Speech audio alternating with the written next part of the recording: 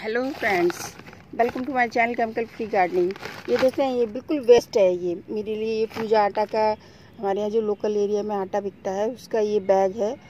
तो grow bag जो होते हैं, या फिर इस तरह के बैग हैं, या फिर डिटर्जेंट के बैग है, वो किस तरह से भरती हूँ मैं, ये देखिए। ये कुछ न्यूज़पेपर के टुकड़े मैंने डाल रखे हैं, कुछ ये पत्ते हैं मेरे गार्डन के, और कुछ ये लकड़ियाँ वगैरह भी हैं, जो मैंने अभी प्रून की थी। इसकी टिकोमा वगैरह की तो वो है ये। तो ये मैंने भर दिया है इसमें। और ये है मेरी कुछ मिट्टी। तो मैं इसमें इसी तरह से भरती हूँ। आप देख लीजिए, एक लेयर ये डाल, डाली है मैंने शुरू से ही। और एक लेयर मिट्टी की, सबसे पहले मैंने मिट्टी डाली है, फिर ये इतनी मैंने ये डाली है। तो बहुत ही कम मिट्टी में, और बिना गमले के आप गार्डनिंग कर सकते हो। अगर आप कहो कि हमारे पास गमले नहीं हैं या हम शिफ्टिंग में हमें परेशानी हो जाती है रेंट पे रहते हैं तो हम ऐसे कैसे लगा सकते हैं? तो इस तरह से आप अपने गार्डन की सॉइल को रेडी कर लीजिए। और इसमें क्या होता है? ये नीचे नीचे तो ये खाद बनती रहेगी। ये जो मिट्टी लगाई है मैंने, इसमें जो इसमें जो मैंने ब्रांचें वगैरह भी डाली है, काफ़ी मोटी मोटी तक डाल दी है मैंने इसमें। वो सब इसमें डिकम्पोज होकर खाद बनती रहेगी। ठीक है? और कुछ इतनी थोड़ी सी इसमें मैंने कबूतरों की जो बीट होती है, वो नीचे डाल दी है। तो ये भी कम से कम चार पाँच महीने में ये भी डिकम्पोज हो जाएगी और इधर ये भी डिकम्पोज हो जाएगा। तो इसमें बेस्ट डिकम्पोजर का घोल भी डालती रहूँगी। तो ये मैंने मिट्टी डाली है और फिर इसके ऊपर से चाहें तो एक बार फिर लेयर लगा सकते हैं, पर मेरे पास इस समय नहीं है। और मैं एक थोड़ी सी इतनी सी ये मैं गोबर की खाद डालूँगी इस तरह से, ऐसे। तो इसमें जो भी एग होंगे, केचुओं के, जो बर्म के एग होते हैं, वो होंगे तो इसमें केचुए भी बनने लगेंगे, जिसकी वजह से ये इसे खाने लगेंगे और डिकम्पोज करने लगेंगे। फिर एक लेयर ये डाल दूँगी, फिर आप इसमें कोई भी प्लांट इसमें लगा सकते हो। इस तरह से कोई भी प्लांट अब आप इस पॉलीथीन निकाल के इसमें लगा सकते हो। बहुत ईजिली लग जाएगा। कोई टेंशन नहीं होगी, कोई परेशानी नहीं होगी, आराम से चल जाएगा। तो कोई भी प्लांट जैसे अभी बहुत ज़्यादा प्लांट हो जाते हैं और हमारे पास गमलों की कमी हो जाती है तो इस तरह से आप इन्हें यूज़ कर लीजिए, आपकी खाद भी बन जाएगी और प्लांट भी रेडी हो जाएँगे, है ना? और फ्लावरिंग भी अच्छी लगेगी। अगर आपको ऐसा लगता है कि ये देखने में भद्दे लगते हैं तो कोई नहीं बड़े बड़े प्लांट्स के बीच में रख दीजिए। जैसे ये मैंने ये डहलिया रख गुलदाउदी रखी है, इसके इसके ईटे रखे, रख के ऊँचा करके रख दीजिए और इसके नीचे लगा दीजिए। इस तरह की प्लेट्स इस तरह की प्लेट्स वगैरह लगा दीजिए, जिससे कि इसका जो भी लिक्विड होगा कंपोस्ट टी जो बनेगी वो इसमें कलेक्ट होती रहेगी फिर वो आप उसे आप अदर प्लांट में डाल दीजिए। तो इस तरह से आप अपने प्लांट को रेडी कर दीजिए। बहुत इजीली रेडी हो जाते हैं। मैंने शुरुआत की थी तो इसी तरह के कैरी बैग यूज़ किए थे जो टेन के के जो टाइट वगैरह के हाँ, पॉली बैग आते हैं उनमें मैंने बहुत लगाए थे। मेरे पुराने वीडियो देखेंगे तो आपको पता चल जाएगा। और इस तरह के मैंने बैग लिए थे और कुछ कट्टे, जो सीमेंट के कट्टे होते हैं या उसके कट्टे होते हैं, जो बॉल पुट्टी के कट्टे होते हैं, वो मैंने लिए थे। तो इस तरह से मैंने उन्हें ढेर सारे प्लांट उनमें लगाए थे।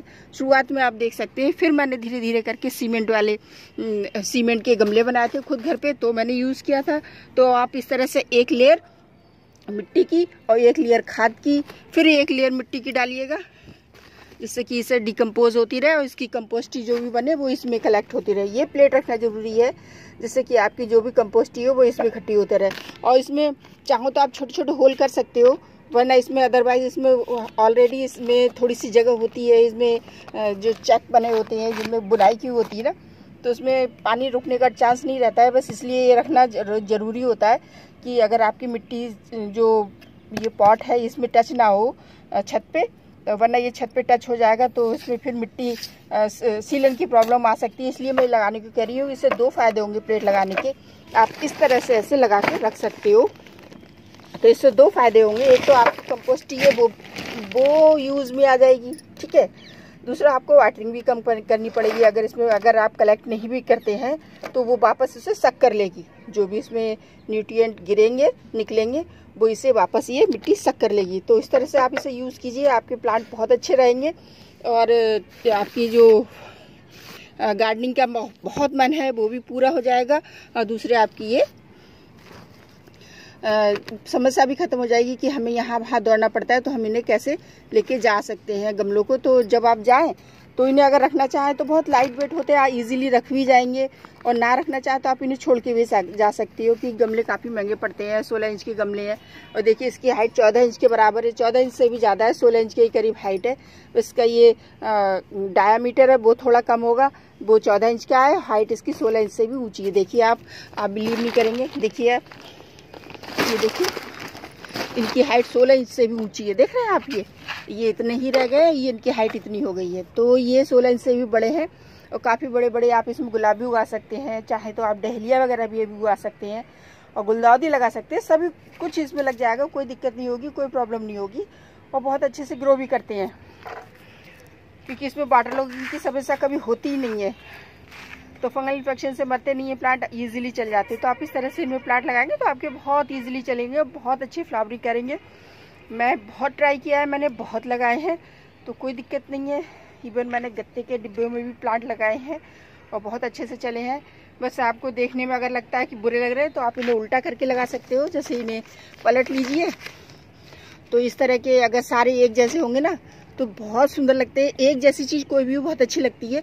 लुक वाइज भी वैसे भी। तो ये सारे वाइट वाइट कलर के देखेंगे, बहुत अच्छे लगेंगे। मैंने तो ऐसे ही भर दिया है, क्योंकि मेरे पास इतना टाइम नहीं है।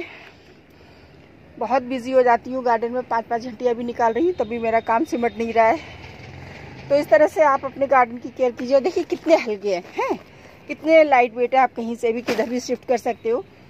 तो ये बहुत अच्छा रहता है। अगर आप मार्केट से ग्रो बैग लेना चाहते हो, उसकी जगह आप इन्हें यूज़ कर सकते हैं और सिंपली यूज़ कीजिए।